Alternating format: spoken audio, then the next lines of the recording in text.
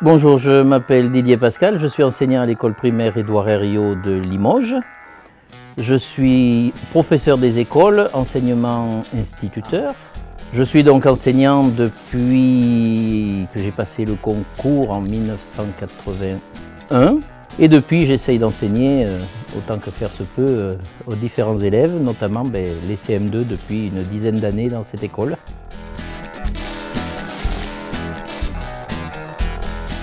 On a toujours en charge euh, des élèves, c'est-à-dire leur euh, donner un maximum de connaissances, c'est ce qu'on appelle le, savoir, un maximum de techniques pour les utiliser, c'est ce qu'ils appellent les savoir-faire, et ce qu'on essaye de leur donner aussi, ben, c'est le faire, c'est-à-dire que si on sait, si on sait faire, si on n'utilise pas, ça ne sert à rien. Donc euh, on essaye de faire un maximum de travaux, d'exercices, pas seulement scolaires, mais aussi pour donner des, des points pour la vie courante.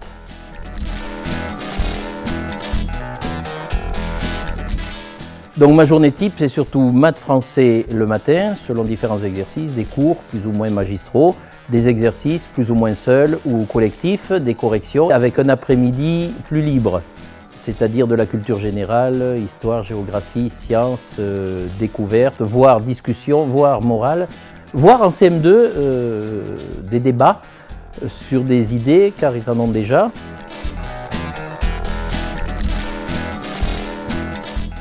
Aimer donner ce qu'il a dans la tête, aimer le faire passer et apprécier les enfants.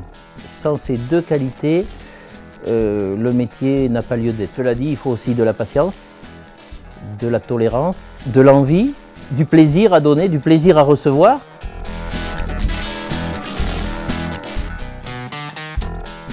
Faire de la nostalgie, hein, mais il faut écouter les vieux, il faut écouter ceux qui ont euh, exercé, ceux qui se sont plantés, ceux qui vous disent à quel endroit ils se sont trompés et comment ils ont essayé de rectifier le tir, ceux qui ne se sont pas trompés et comment ils ont fait pour ne pas se tromper.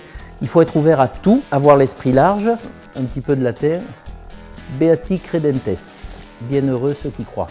Si vous croyez à ce que vous faites, si vous croyez vraiment à ce que vous donnez et faites passer, normalement, il n'y a pas de mauvais métier.